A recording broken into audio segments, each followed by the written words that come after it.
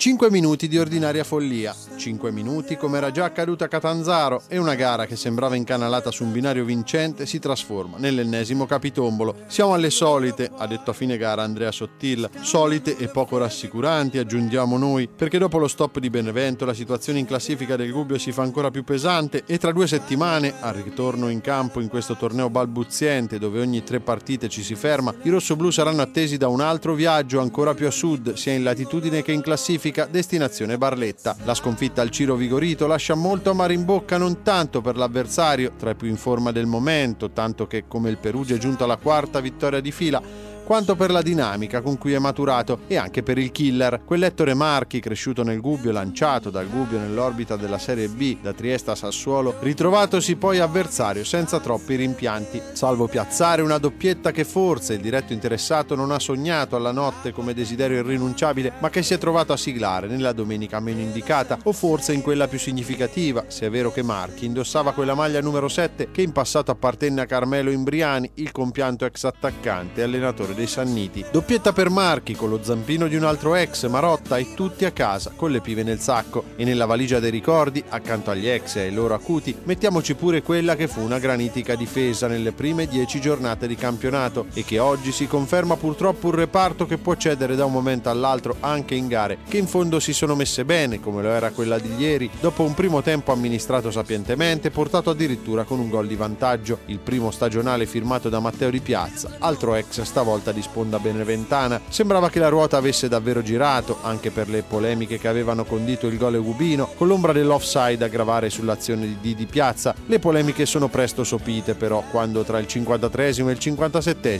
Marchi ha rimesso tutto secondo pronostico ed ora altre due settimane di friggitura a fuoco lento per il rossoblù. A Barletta non si può sbagliare, non è questione di, di sfida ma di nuda e cruda classifica. Saranno infatti le prossime quattro gare, dopo quella pugliese ci saranno tre avversari toscane di fila a svelare i contorni del finale di stagione del Gubbio.